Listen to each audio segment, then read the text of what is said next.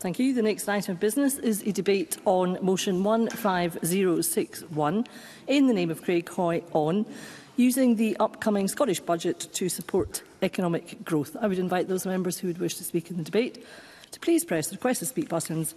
And I call on Craig Hoy to speak to and to move the motion up to seven minutes, please.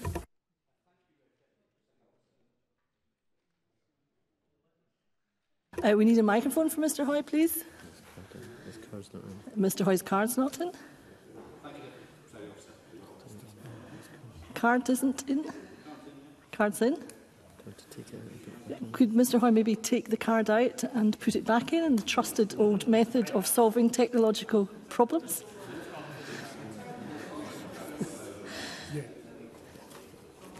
it's Okay, I think we're going to provide Mr Hoy with a spare card.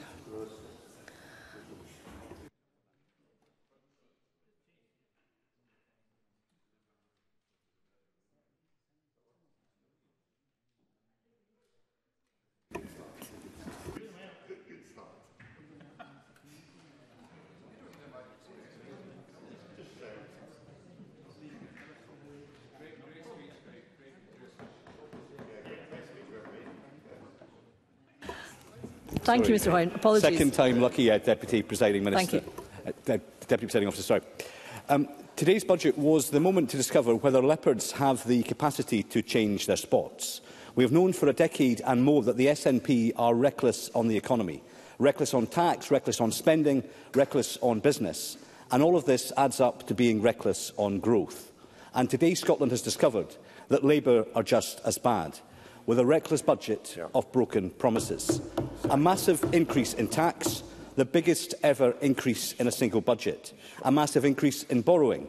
A 25 billion pound jobs tax on employers, a financial ram raid on Scotland's vital oil and gas sector, higher tax on Scotch whisky, a tax assault on farmers and their families, and a cash grab on Scotland's pensioners, who now face the prospect of freezing this winter. In votes in this chamber, Labour and the SNP are frequently on the same page on gender reform, hate crime legislation and on rent controls. But now that we find they are on the same page in the budget playbook, but it's the wrong page and the wrong playbook. More tax, more borrowing and at the same time cuts to some key public services, all to fund misplaced priorities, including above-inflation pay deals demanded by their friends and donors in the trade union movement. Today, Scotland is suffering a double whammy a double whammy at the hands of a cosy left-wing consensual uh, consensus between Labour and the SNP and their friends in the Greens. Socialists doing what socialists do, clobbering hard-pressed taxpayers, clobbering beleaguered businesses and clobbering vulnerable pensioners. Yeah. Our motion today makes clear that the Scottish Government has failed to deliver sustained levels of economic growth in Scotland. If it had, then the Finance Secretary would have had an additional £624 million pounds to spend on public services this year alone.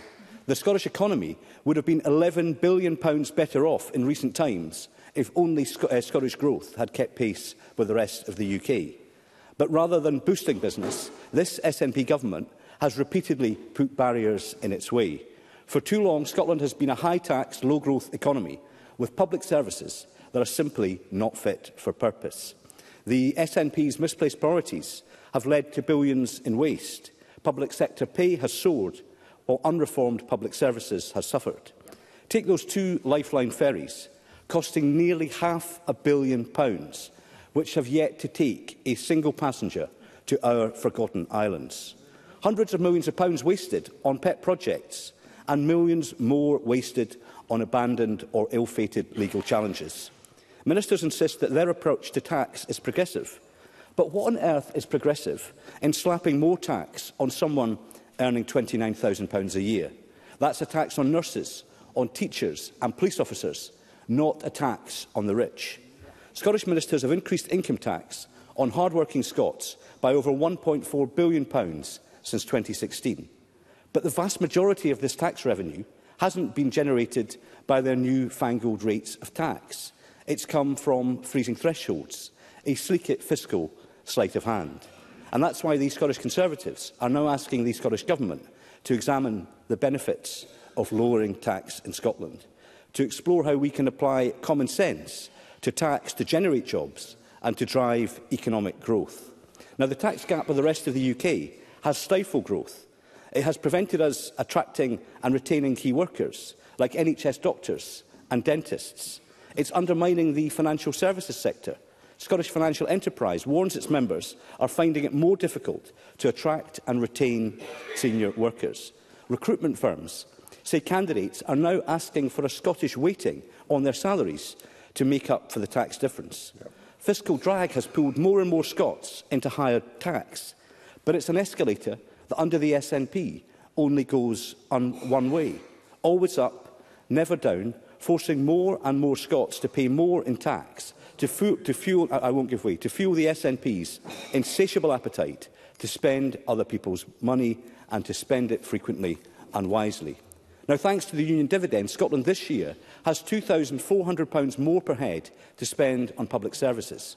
But yet the SNP still adopts a policy of a higher tax on the majority of Scottish workers.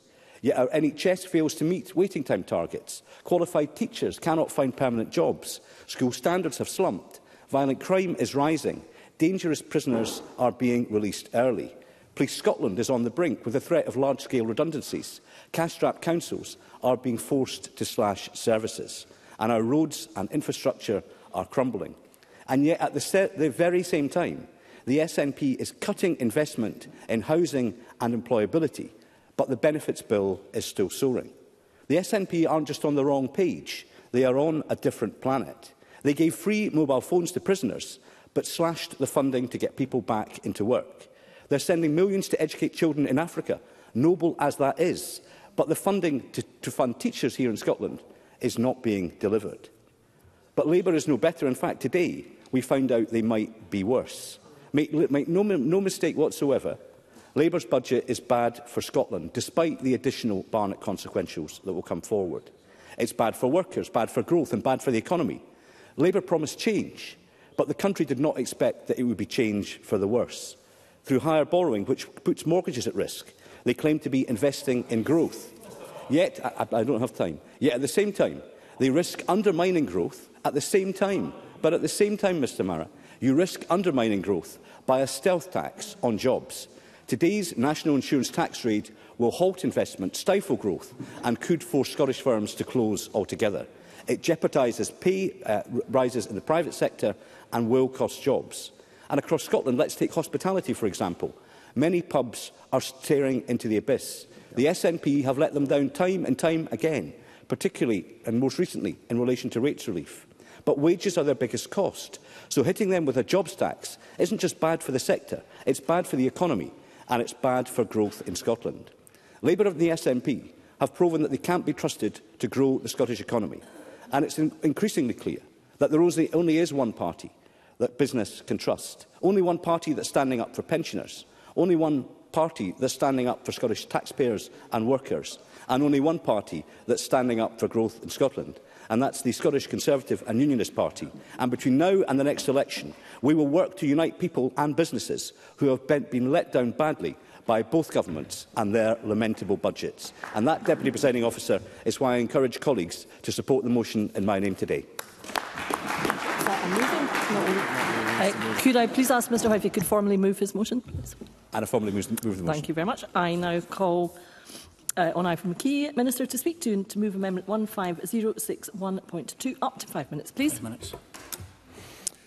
Uh, thank you, President Officer, and I'm delighted to be here um, opening for the Government on the second of our triple header of um, finance debates this, uh, this week, and I welcome the opportunity to debate uh, the issues raised in a Conservative motion this afternoon, following on from yesterday's um, interesting debate on fiscal sustainability. And as outlined uh, yesterday and reiterated today, the Scottish Government is committed to ensuring that public finances are sustainable.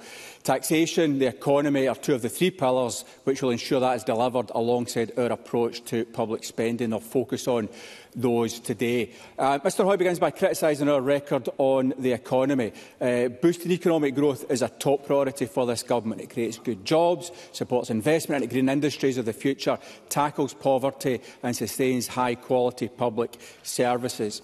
So let's look at that uh, in one minute. Let's look at that record. Mr Hoy and the Tories of interest to tell us that Scotland's GDP per capita has grown faster than the UK since 2007. Um, and that per head uh, GDP number has grown 10.7% in Scotland compared to only 5% 5.6% across the UK as a whole, almost double.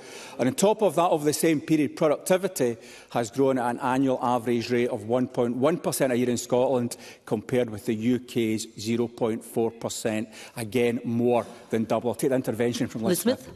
Can I thank the Minister for taking the intervention? If that's all true, why is it that only 9% of Scottish businesses have confidence in the government's policy about economics? Minister.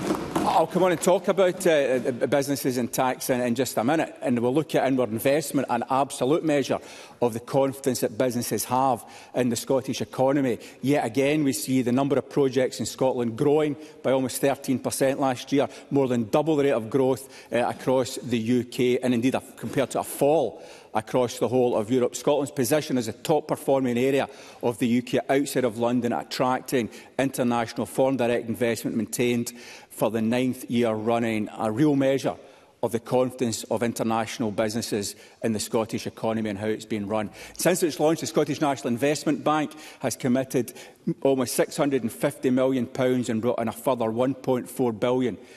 in additional third-party investment into businesses and projects across Scotland, enabling the building of affordable homes, supporting 1,800 jobs through investee businesses and nearly 58,000 tonnes of carbon been avoided as a result of the investments the bank has made. The Scottish Government has set our sights clear clearly on establishing Scotland as one of Europe's leading start-up economies, fostering an environment where innovation and high-growth businesses flourish. TechScaler the Scottish Government's £42 million national programme for creating, developing and scaling tech start-ups through education programmes, expert mentoring and a growing network of physical hubs. TechScaler has had more than 1,000 applications, more than 900 individuals from 700 businesses accepted, 36% of whom are women founders. Scotland's financial services sector mentioned by Craig Hoy look at FinTech Scotland, one of Europe's, not just the UK's, Europe's leading hubs for FinTech uh, startups and creating that excellent cluster. Again, it's a consequence of the work and the focus uh, in part of the Scottish Government. President Officer, I think it's difficult to characterise these as failures. And Craig Hoy talks about public sector workers. Well, I'll tell you, Mr Hoy, we are proud of the fact that we've got more uh, frontline staff, doctors, nurses, midwives, teachers in Scotland than the average across the rest of the UK. And are proud of the fact that we pay them a wage commensurate with their contribution to the Scottish economy. Uh, Michael Mara. Minister's doing a good job talking about growth opportunities for Scotland. Surely he will uh, uh, recognise and welcome the £125 million announced today for GB Energy based in Aberdeen. Perhaps he could explain to us, though, why SNP MPs refused to vote for that investment last night. Minister.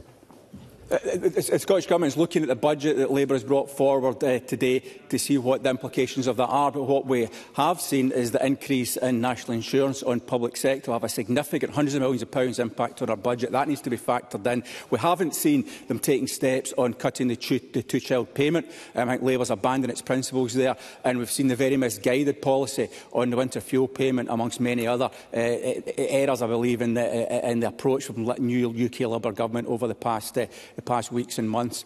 But turning again to another measure um, that shows the success of Scotland's economy, inward migration, we see that people are moving to Scotland. Um, more taxpayers coming to Scotland have left. Those numbers actually increasing the gap between those moving the, south the Minister to north is bringing his is higher to close. than it is moving, uh, moving from uh, Scotland to the rest of the UK, and that gap is growing. Uh, it was showing the most recent, uh, recent publication of that, uh, that data. So in conclusion, presiding Officer, we believe there absolutely is more work to be done um, to grow uh, Scotland's economy uh, and create confidence to uh, encourage yet more investment. But the track record of this government over 17 years uh, uh, has got some, many, many positives that we should, uh, we should be proud of. And we'll continue to work with businesses across Scotland to continue to grow uh, and strengthen Scotland's economy going forward.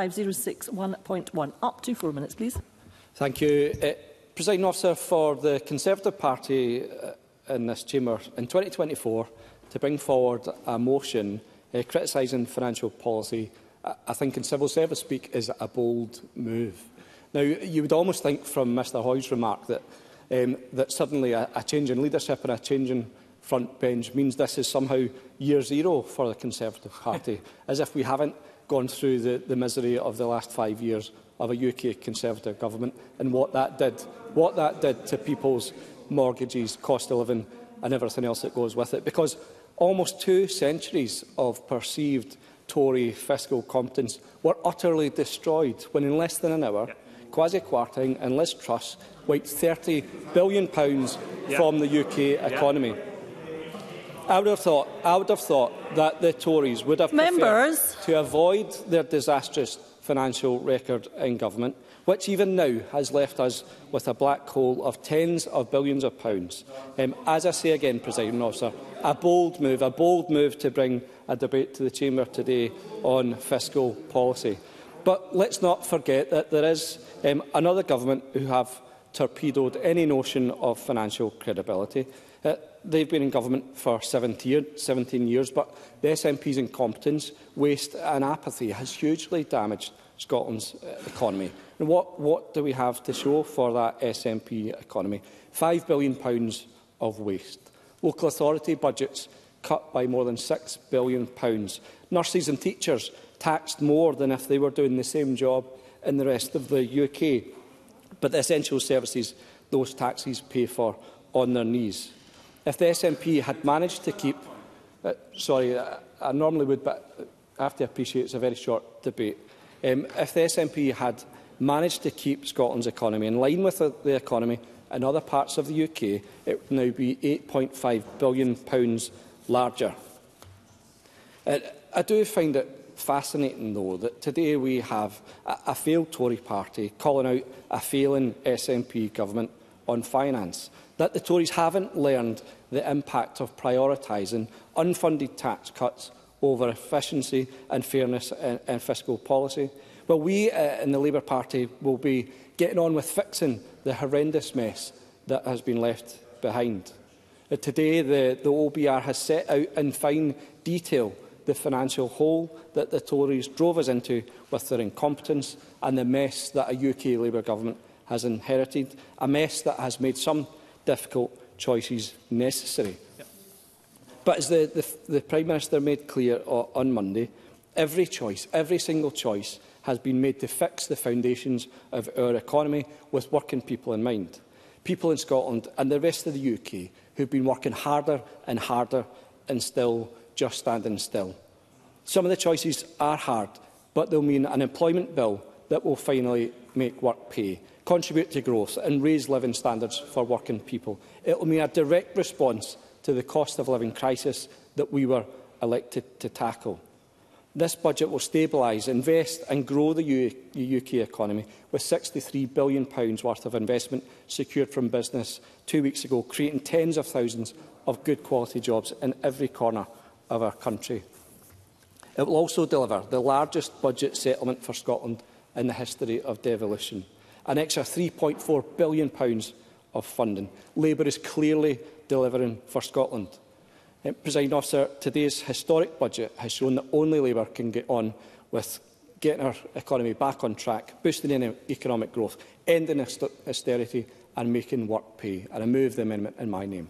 Thank you, Mr Griffin. And I now call on Lorna Slater. Up to four minutes, please. Thank you, Presiding Officer. I note Mr. Hoy's relentless focus on economic growth in his motion for debate today.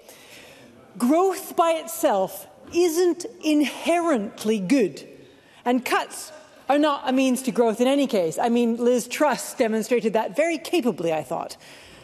Maximizing growth for the sake of having a bigger GDP to bang on the table than the country next door doesn't actually do anything at all to improve people's lives and can increase damage to the environment and greenhouse gas emissions whilst making um, inequality um, worse. Ms Slater, please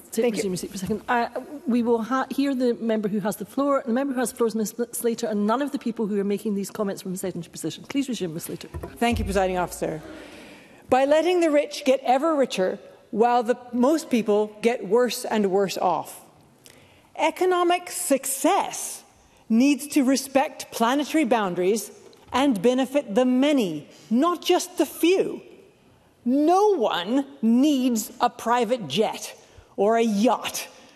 Every child needs a warm home, a good school, access to good medical care, and nutritious food. I will take the intervention. Quick, the, I, I, I thank the member for giving me. Just about the point of growth, is, is therefore she advocating that uh, the recession is good for the economy and, and good for the people of this country?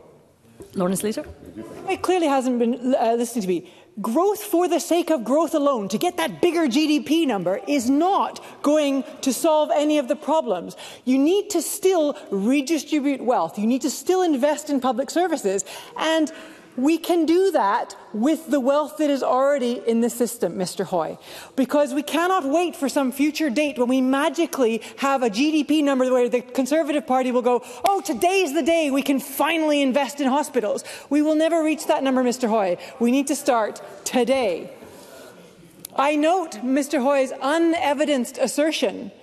that the tax differential between England and Scotland is damaging it's a pity that the Torygraph, oh, I am sorry, I mean the Telegraph, didn't get the memo.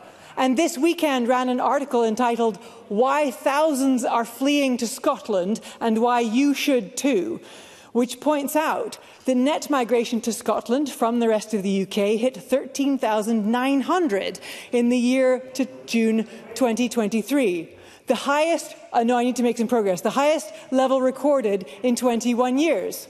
Free university tuition, free prescriptions, free eye tests, period products, free bus travel for young people are a bargain for the £111 in additional tax per year that someone on £40,000 salary pays in Scotland. And that article hasn't even mentioned the Scottish child payment, social care support, free school meals, or higher pay for nurses. The challenges of the last 14 years, where a Conservative government in Westminster has cut investment to the bone and run public services into the ground, highlight how unsatisfactory Scotland's fiscal framework is.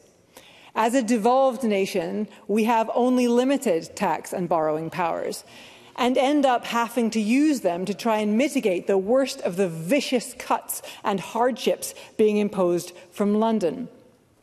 The Scottish Fiscal Commission, among others, advocates for fiscal reconfiguration to avoid perpetually missing our climate and nature restoration goals. And what about eliminating child poverty for good? We need more investment and money for these things, not less. Lowering taxes while continuing to subsidize polluting industries and large landowners will not achieve the outcomes that we desperately need. The Scottish Greens want more public investment in Scotland, and we will be honest about where the money for that can come from and how it can be raised. In the Scottish budget, we would take funding from the road building and motorway expansion budgets and put it into housing and climate action. We would raise more from those who can afford it, such as those who travel by private jet. I would suggest to this Parliament that the focus should be on economic development and sustainability, on prosperity for all. Ms. We, you'll need to bring your remarks to close, please. Thank you, Presiding Officer. We have a national dashboard of well-being indicators. Let's put in place economic policy to improve these and stop imagining that a twitch of our GDP number is going to make all our problems go away. Thank you, Ms. Leiter. And I now call on Alex Cole-Hamilton. Up to four minutes, please. Thanks very much indeed, uh, Presiding Officer. So great fun and something of a degree of political knockabout it to it. But I'm not sure this debate uh, is actually telling us a great deal that we don't already know, because the reality is that growth in Scotland has been stymied by the decisions of both of Scotland's governments. The SNP's failure to articulate a long-term vision has meant botched interventions and an erratic approach to tax and spend. This Conservatives' appalling legacy, Brexit, the Liz Trust mini budget, they are being felt by the whole of this country. People need hope. They need a fair deal. And we're all digesting the news from the Chancellor today. And I just wanted to start by joining others in recognising the history of this moment. The first budget delivered by a female Chancellor in over 800 years of that post. We're glad that Rachel Rees has listened to Liberal Democrat calls for more investment in the NHS because we can't fix the economy unless we fix the health service and the care crisis around it. I'm concerned that any additional spending that results from today's UK budget won't make the impact we need it to here in Scotland if the plan that underpins it Scotland's NHS recovery plan is wholly flawed. We've got record delayed discharge uh, people waiting years for mental health treatment and dental deserts where there are whole council areas where new patients are unable to register with an NHS dentist. It's all interrupting the flow through our NHS, making waits longer, preventing people from getting back to work and getting on in life. Just look at long COVID. One study in April indicated that the economic impact of long COVID to Scotland could amount to £120 million every year and 11,000 jobs. And the Scottish and the government is running out of friends. The Scottish government is running out of friends when it comes to the National Care Service too. Frontline workers, unions, COSLA, now every opposition party stand opposed to it. We need to fix the care crisis in our country, absolutely, but that cannot happen while the Scottish Government remains wedded to this doomed act of centralisation that would represent a gargantuan budget line. There were big and difficult decisions for this new Chancellor to make, but we fear she's got too many of these decisions wrong. Workers, entrepreneurs and businesses up and down the country will be poring over this too, right now. Raising employers' national insurance is a tax on recruitment and high streets, and it will make the health and care crisis potentially worse by hitting small care providers. They've been hit by the pandemic and the spike in prices and input costs, input costs, and now today's news. To create a strong and growing economy, We need to back small business, fix the healthcare crisis and invest in the green jobs of the future, as well as fixing our broken relationship with Europe. By ruling out a youth mobility scheme or long-term goals like rejoining the single market, the UK government is trying to fix the economy with one hand tied behind its back. Instead of raising the money that we need to, to, by reversing conservative tax cuts for the big banks or asking social media and tech giants to pay more to clean, clean up their mess in terms of the wreckage of men, mental health in our young people, the Chancellor has chosen unfair tax hikes that will hurt the hard-working families, small businesses and family farms that are the engine rooms of our economy. The government will now have choices to make as it looks ahead to its budget in December. In the past, they've chosen and poorly embodied by the ferry scandal, the hundreds of millions of pounds over budget, and not serving the islanders who have still been so badly let down.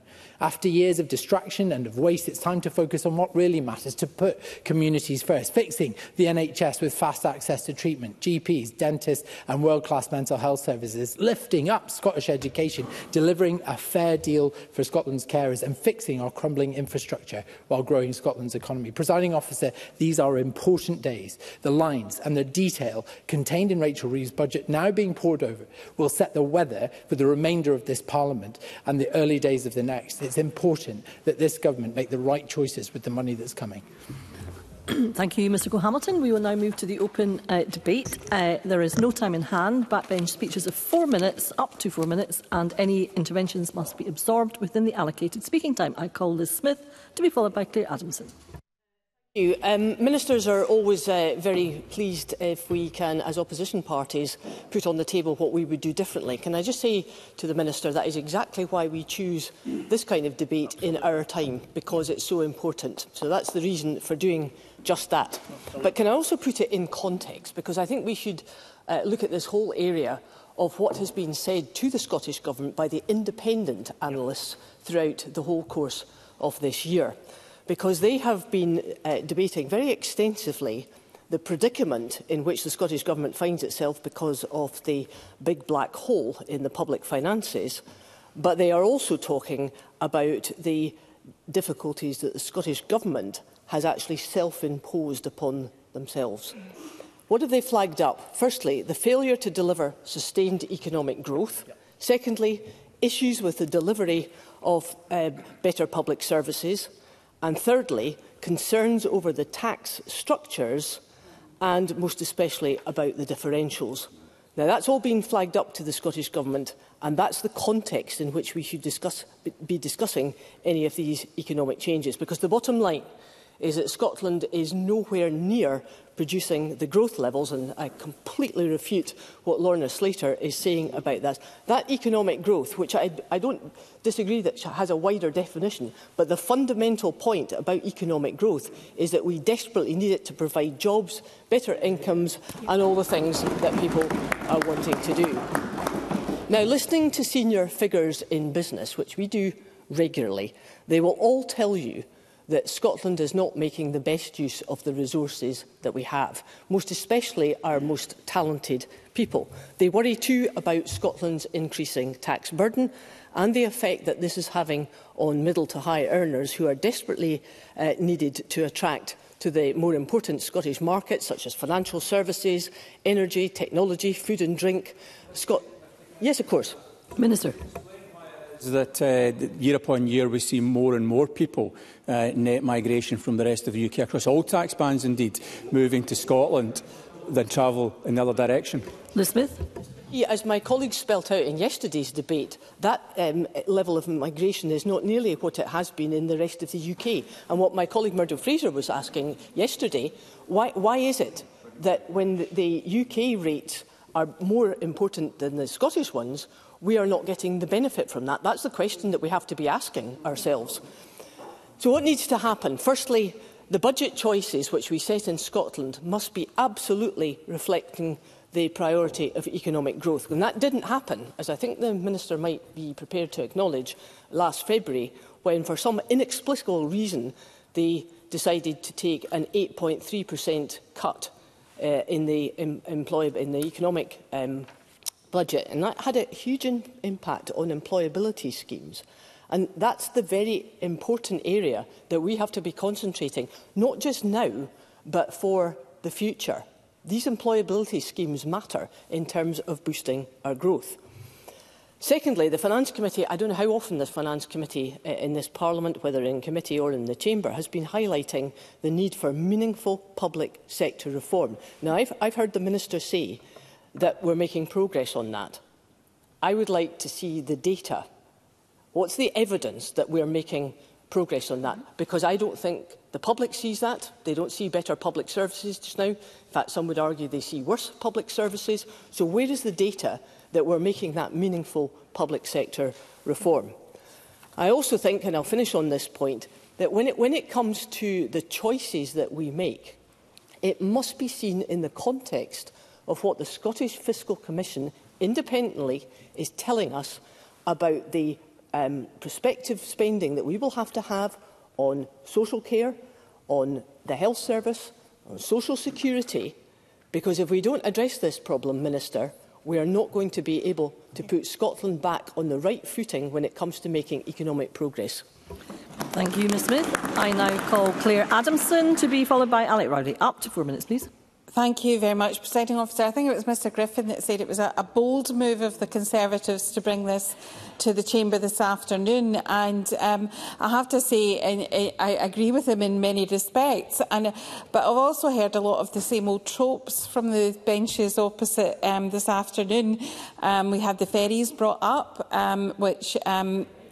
completely ignoring completely ignoring HS2, which is now tripled in cost to £106 billion, or the 3.0 £7 billion pounds on the aircraft carriers that are still not yet in operation.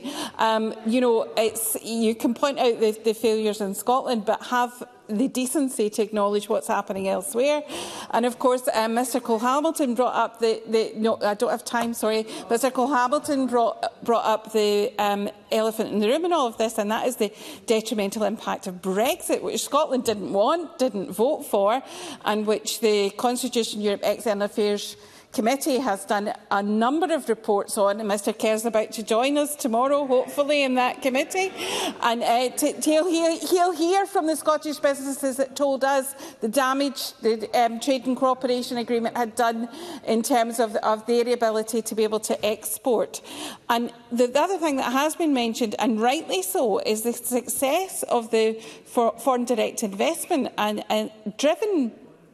largely in part by the work of the international offices.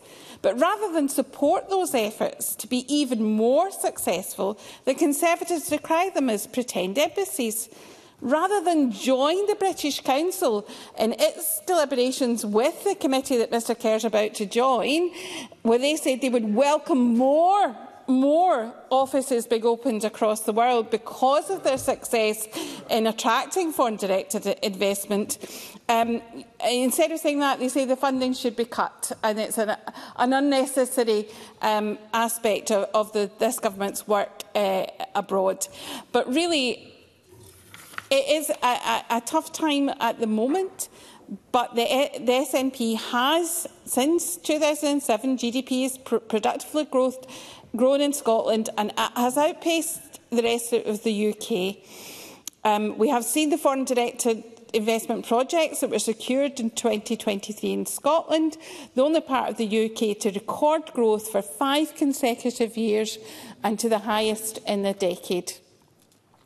Scotland, according to Ernest Young, is, is the top destination in the UK for FDI. But what is hampering our ability to fulfil that potential is the, un, the inability to have workers because of Brexit, because we don't have free movement of people, because we cannot have the movement of people that we had when we were part of the European Union. And it's be on time, that we were back at least... Ms Adams, at please resume your seat for a second. I've already said to members that we only need to hear from the person who has the floor, who happens to be Ms Adamson. Thank you. Please resume. I, I think they don't like what I'm saying, presiding officer, and they don't want it heard by the people of Scotland. But it is, it is we are doing as, as best as we can in this context.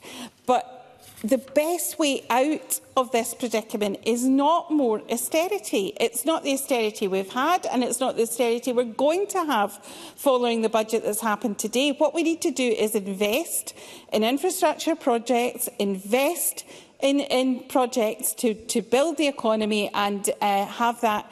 Um, have... So, presiding officer, sorry.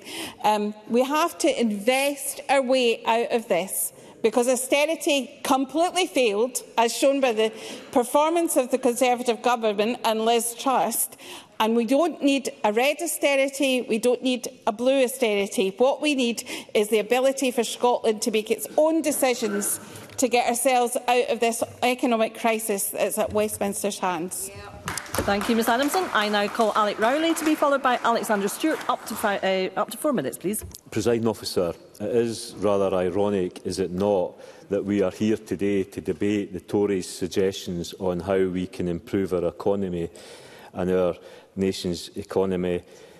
economic future, given their own catastrophic mishandling of the UK's finances during a miserable 14 years that they were in power. Indeed, the idea that the Tories are in any position to provide insight into fiscal competence is simply laughable the damage they have inflicted on the country's economy through promises not funded or underfunded, through decisions taken without care, without thought, will unfortunately be felt for a long time to come as the new UK Labour government attempt to rebuild from the economic disaster left to us by the Tories. However, I do believe As history is written, the last decade will be the story of two incompetent governments, because it is clear to me, and I believe becoming ever clearer to the people of Scotland, that despite paying higher taxes than the rest of the UK, Scotland's public services are crumbling constituents terrified that they are sitting on waiting lists in our NHS, not getting the treatment they need or are unable to access crucial GP services. Parents worried about the quality of education their children are receiving because school teachers are undervalued and overstretched. People in desperate need of care packages that never seem to be available and yet people across Scotland are asked to pay more and more for less and less, all while watching this SNP government pour money down the drain with nothing to show for it. Take social care. Promise after promise has been made by the Scottish Government that they will deliver the most significant reform to public services since the creation of the NHS in their National Care Service Bill. But we are left with a proposal for a centralised procurement service that bakes privatisation into care delivery in Scotland, abandoned by every key stakeholder, trade union, COSLA and even the government's allies in this parliament. And the cost – What did it cost? 28 million spent and no further forward and no closer to delivering the social care provision that the country so desperately needs. And this is just one example from the ferries fiasco to an over-reliance on agency staff in the public sector to delayed discharge in our NHS. The Scottish public has sat by and watched this SNP government squander public finances while public services suffer. I would say that I believe, for the most part, that people are happy to pay tax if they can see the benefit of doing so. They want their taxes to be used for better public services and to grow the economy, giving people the best chances in life. So I have to point to the fact that this, if Scotland's economy had kept pace with the economy in other parts of the UK, it would now be worth billions of pounds more. So for me, that points to the failure of the SNP when it comes to economic policy, the failure to put in place an industrial strategy and the failure to recognise that alongside taxation, you must have economic growth to build a successful and prosperous Scotland. And that's why I'll be supporting the Labour amendment.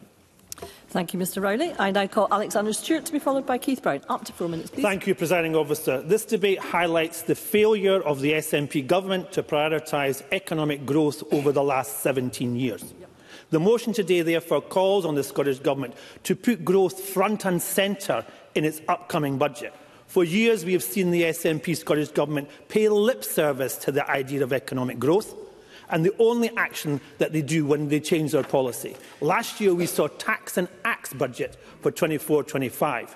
This increased income tax failed to pass on rates relief to small businesses, and this was after spending two years in coalition with a party that shows complete contempt for economic growth, destroying jobs and destroying investment. And you don't have to look far to see what happens when a government decides to neglect growth. Yep. We know that Scotland is forecast to have the fifth lowest GDP growth in the regions of the United Kingdom.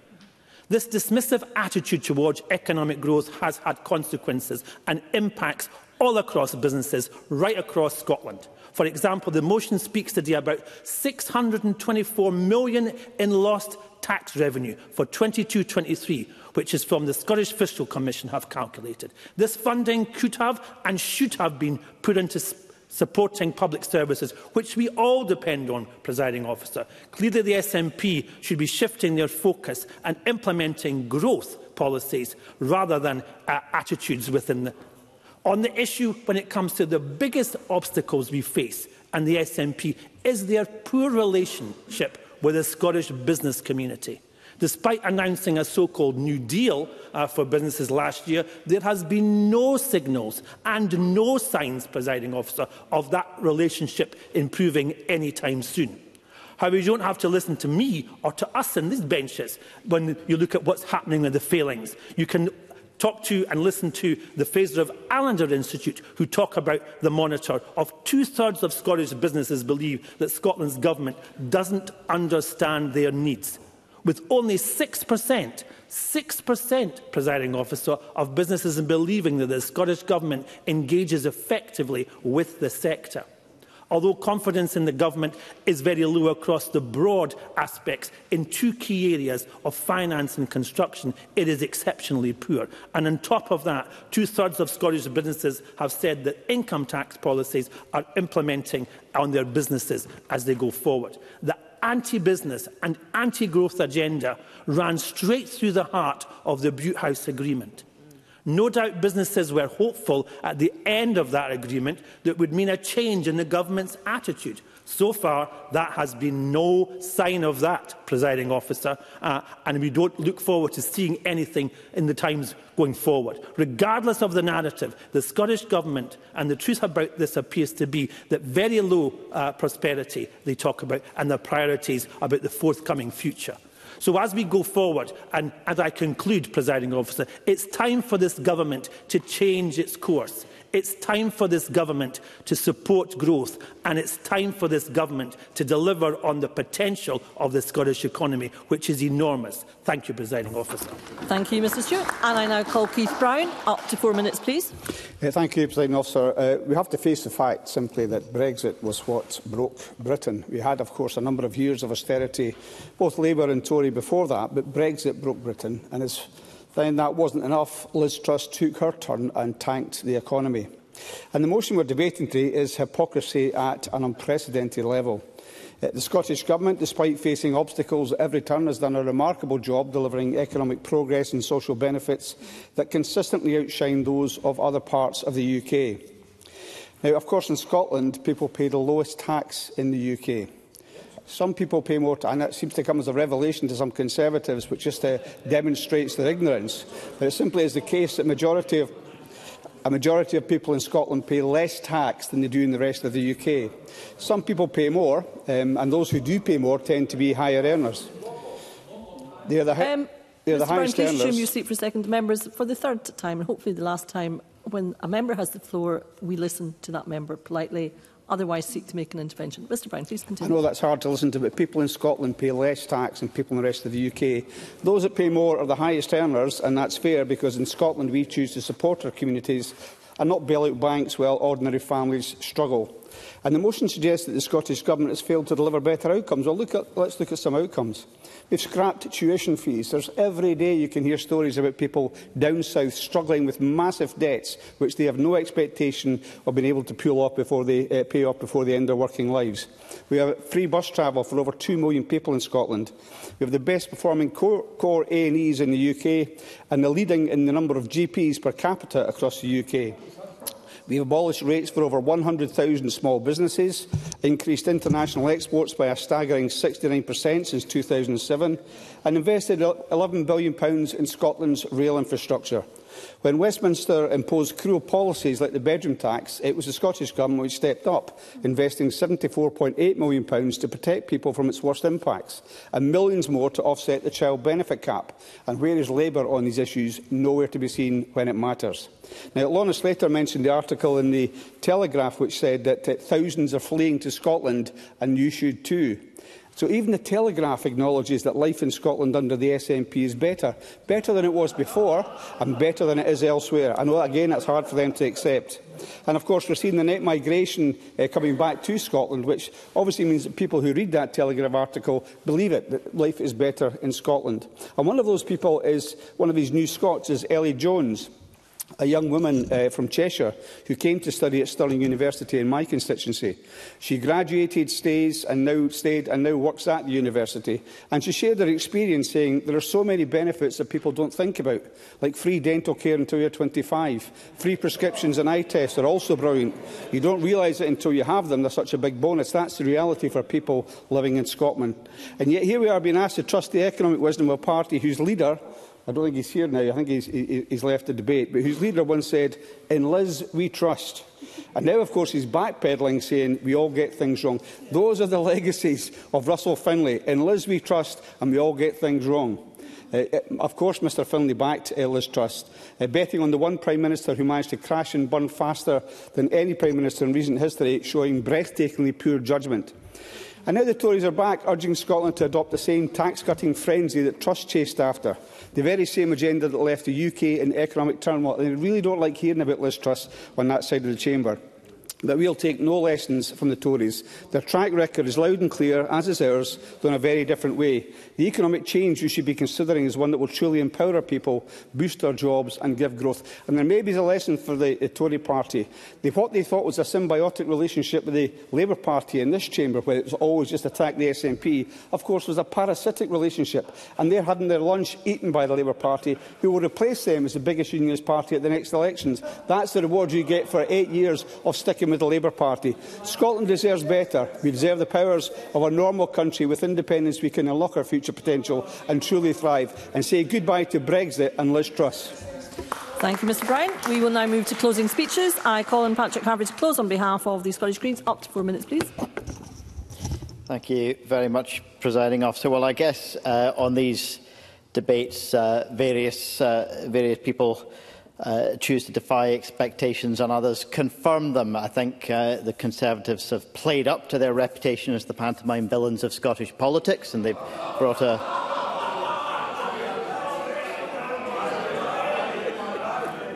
and they brought a, a motion to do the same. You know, some of them were so determined a few years ago that uh, Scotland should copy the disastrous mini budget of Liz Truss and Kwasi Kwarteng, it seems today that they're equally determined to drag the behaviour of this chamber down to the level of the House of Commons. I, I very much hope that they fail. But from other parties, we do expect a serious debate, and the amendments from both the, the government and the Labour Party, uh, I, I think, contribute to a more serious debate than that. I, in, the, in the government's amendment, I don't really see anything that, frankly, anyone could disagree with. Uh, recognising the harm done by austerity, that's something well understood in every community right across the country. Recognising the harm done by Brexit, that's something that's well understood in every community and in particular in every business across the country, recognising the harm that Brexit has done. The value of progressive taxation, Uh, and I'll come on to that in a little more detail later, but using progressive taxation to pay for things like the Scottish Child Payment, to pay for things uh, like free prescriptions uh, and indeed ensuring that people can go to university without ending up tens of thousands of pounds in debt for their, their tuition fees alone, as happens uh, in England.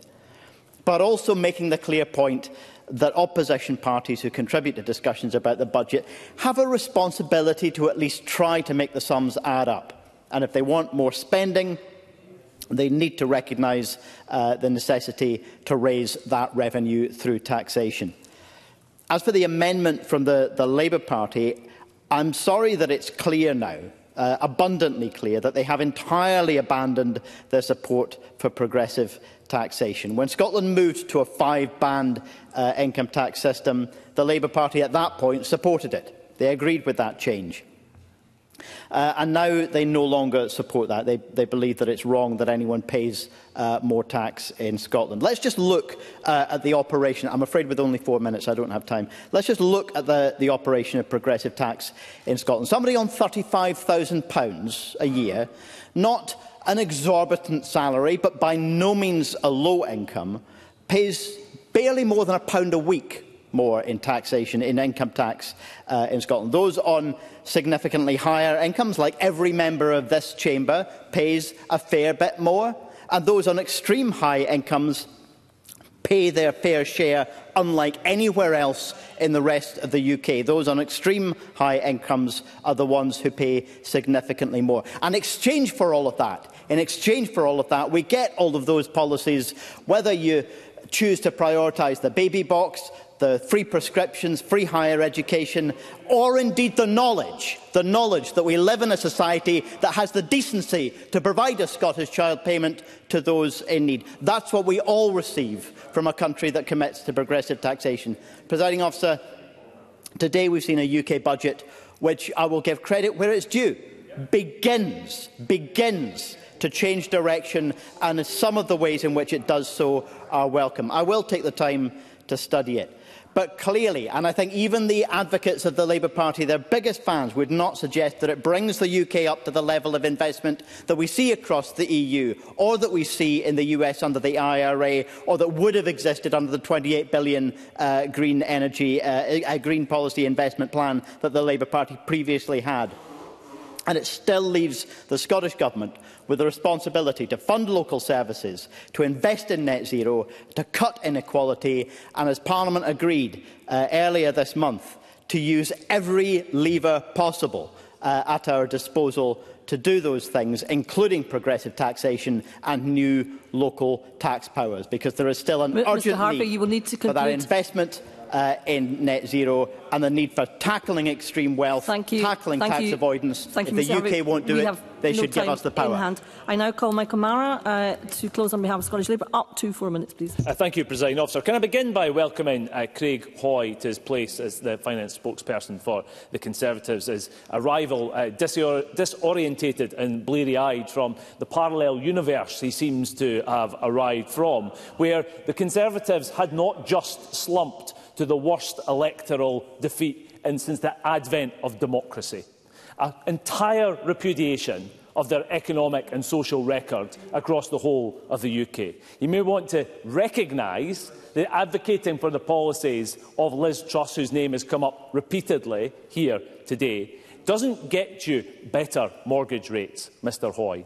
It's an absolute disaster, the approach that Liz Truss took an absolute disaster that led to sky-high interest rates. No, thank you, sir. I'm just getting started. Led to sky-high interest rates and people across this country paying through the teeth as a result of their approach. And I have to say that, we, uh, that I think there is some consensus across the chamber that having a growing economy, a proper working economy, the principal benefit of that is money in people's pockets. It's money that they can spend and the decisions they make with it.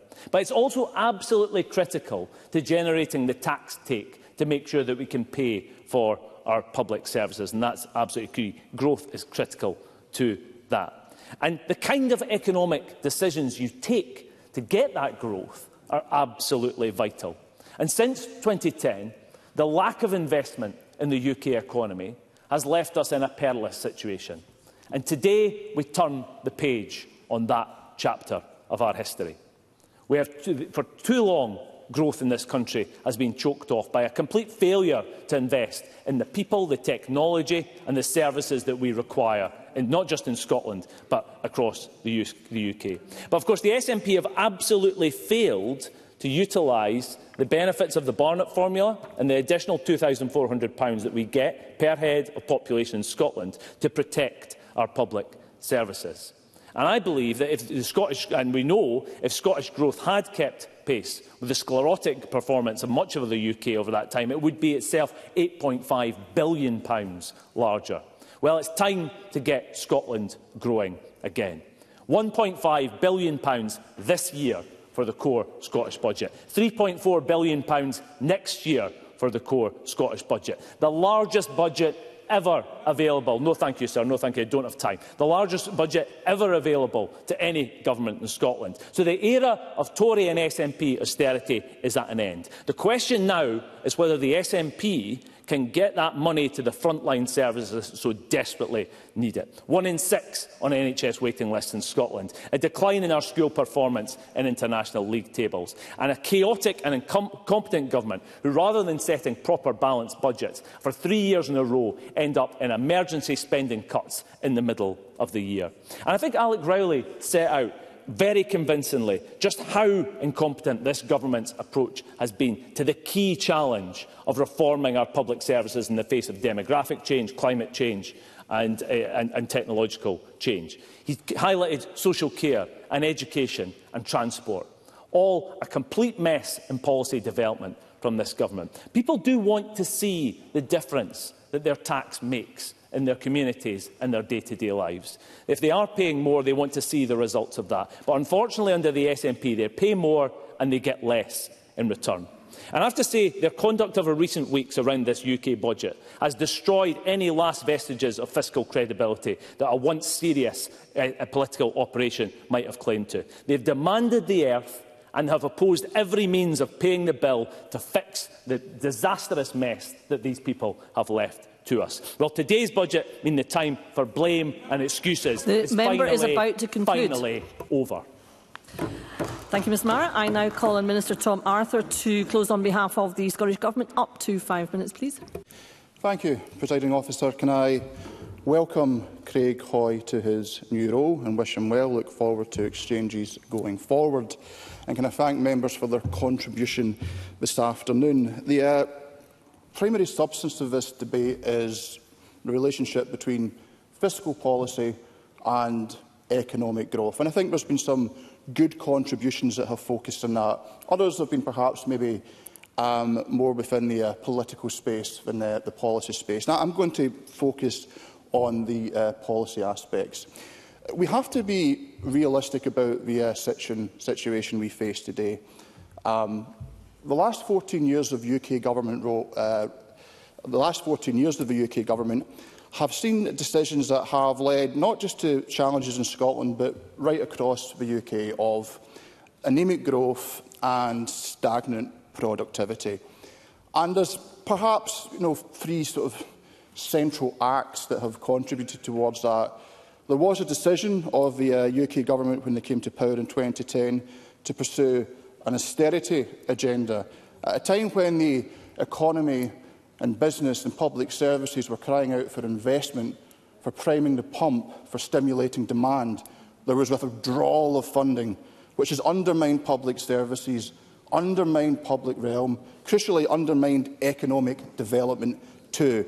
And we are contending with the legacy of that. And of course, one of the consequences of austerity was to fuel the discontent that led to the vote in 2016 for the United Kingdom to leave the European Union.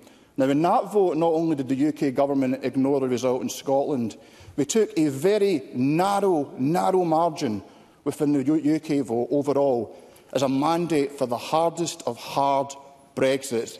Is it any wonder a combination of austerity and Brexit has led to the challenges in growth and, eh, eh, and in productivity that we're facing today.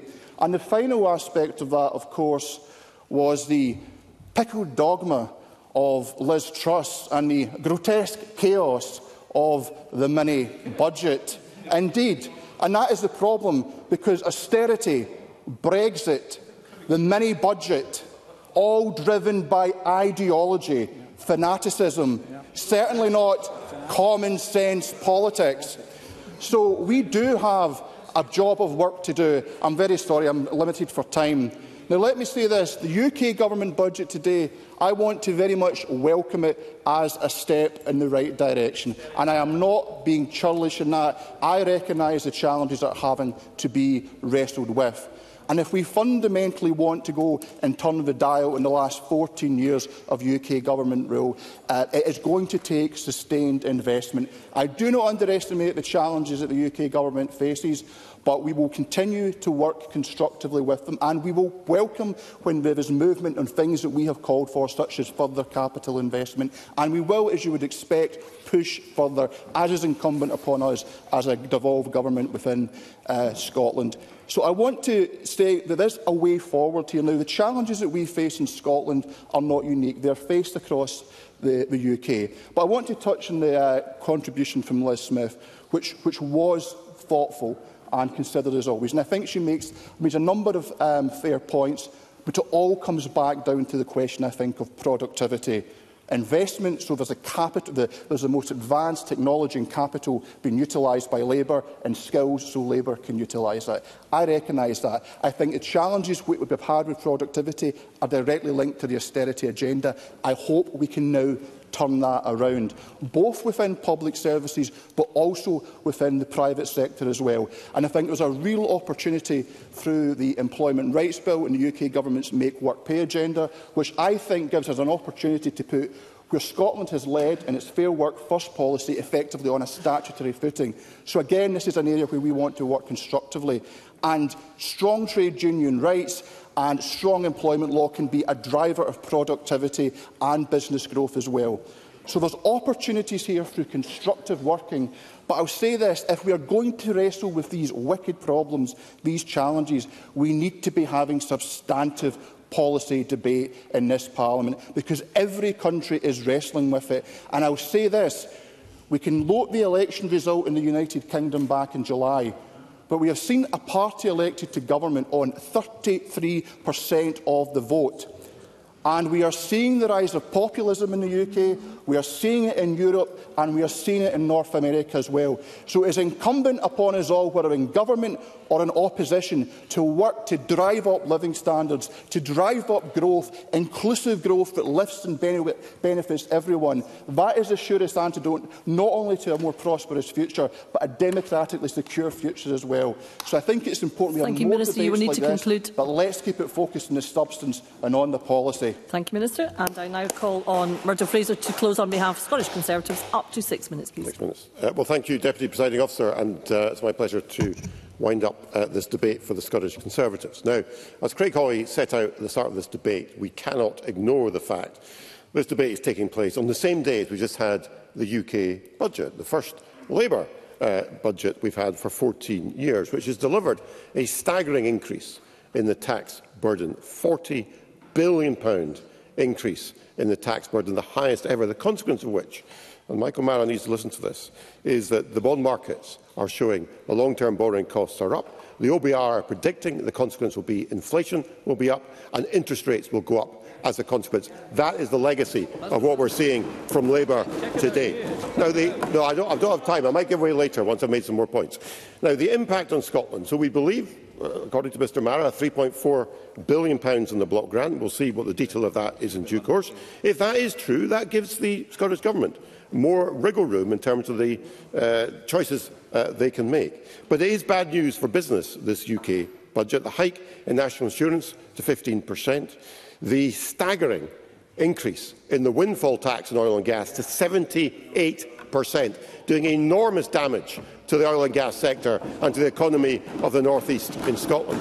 An increase in spirits duty, a hit on farmers passing on land. This afternoon, the National Farmers Union described this budget as a disastrous budget for family farmers and especially tenant farmers. And what really galls people, I think, are the broken promises we've had from Labour. Keir Starmer said 50 times in the run-up to the election. Labour had no plans to increase taxes. Well, we see the truth of that now revealed today. We, we see the winter fuel allowance being withdrawn from pensioners 900,000 pensioners near across Scotland being impacted by this. No U-turn on that. No sign of the £300 promised cut to fuel bills that was supposed to be promised.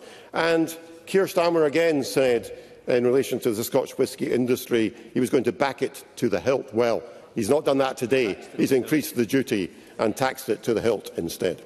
But let me look now at the issues with the Scottish budget. I, I agree, I said this in the debate yesterday, I agree with what Michelle Thompson said yesterday, I'm not sure if Michelle Thompson, oh she is in the chamber this afternoon, about the need to put economic growth first. And I think that is something, an ambition that is shared actually by most parties across the chamber, maybe not by the Greens, but by most parties across the chamber. But we cannot ignore, as Liz Smith said, the impact of differential tax rates on growth in Scotland. And we hear that from the finance sector, we hear that from the hospitality sector, we hear that from those involved in manufacturing, we hear that, that businesses are now having to pay a Scottish supplement and additional wages because of these higher taxes that are being paid. And that impacts not just on the private sector, there's an impact on the public sector too, where we know that high earners, for example in the health service, are deliberately choosing not to work full hours because of the impact that higher tax has upon them. In a survey done by the Fraser of Allen Institute last month, two out of three Scottish businesses said that uh, the tax issue was having an impact on their businesses. It was the single biggest uh, concern for Scottish business. 27% of construction businesses responding saying it had a lot of impact on what they were trying to do and, of course, impacting on their recruitment. So, presiding officer, what should the Scottish Government do when it comes to its budget? Well, it's got to start addressing tax rates. In a speech made earlier in this week, my colleague Russell Finlay talked about the 21p rate, how that potentially could be one of the rates that could be removed to set a direction of travel yep. to try and equalise tax rates in Scotland with the rest of the UK. Because the Scottish Government has to do something about its reputation with business. Alexander Stewart reminded us of the survey done by the Fraser of Allender Institute Just 9% of Scottish firms agree the Scottish Government understands the business environment in Scotland. 64% disagree. Just 6% of businesses agree the government engages well with the sector, down from 8%. Even a dismal 8% in 2023 is down to 6%. So much for the New Deal for Business, presiding officer. But there is an opportunity now, because there will be Barnett consequentials coming from the UK uh, budget.